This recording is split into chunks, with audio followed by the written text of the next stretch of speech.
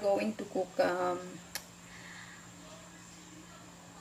um pork adobo flakes pasta. So, uh, I'll show you how I make my uh, adobo flakes pasta. And now I'm gonna put my uh, onions.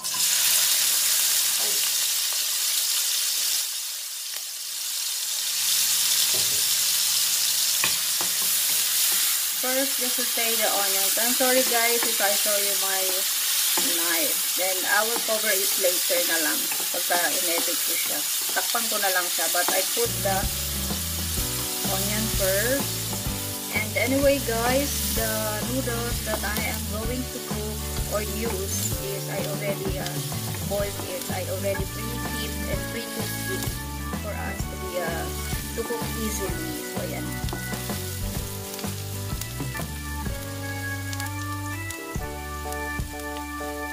I'm gonna put my um,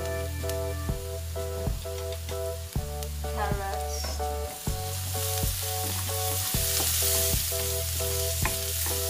Or um, additional vegetable lang kasi um, this um, pork adobo pork pasta is really it should be a pork itself in the pasta. But I want to put some vegetable on it for additional taste. Meron kayong uh, ibang gulay like cabbage. You can also put it and now I'm gonna put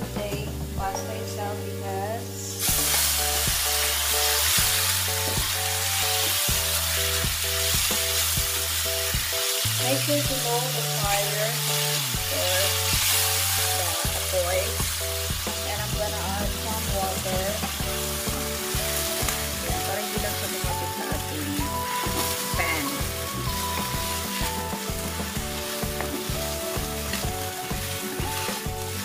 This is very easy guys. And now add a pinch of salt for taste and ground black pepper. And now I'm gonna add the few adobo flakes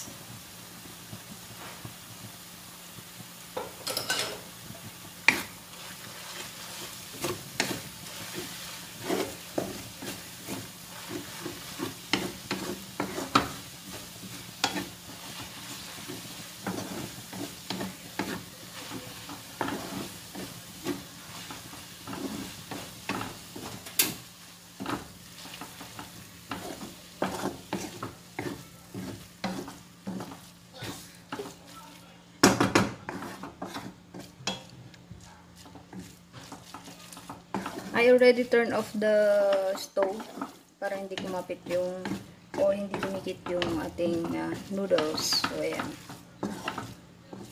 Kasi guys, yung noodles natin ay luto na siya. So, ayan.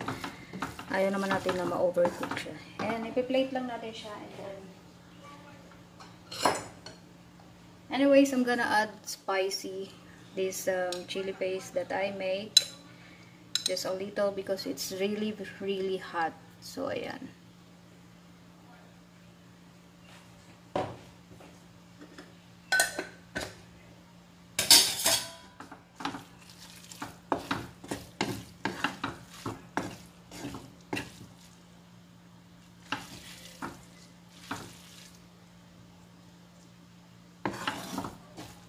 And now, I just need to put it in the plate and I'll be back.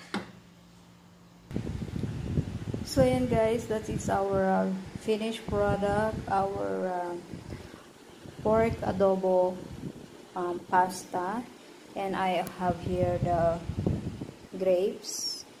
So yan. And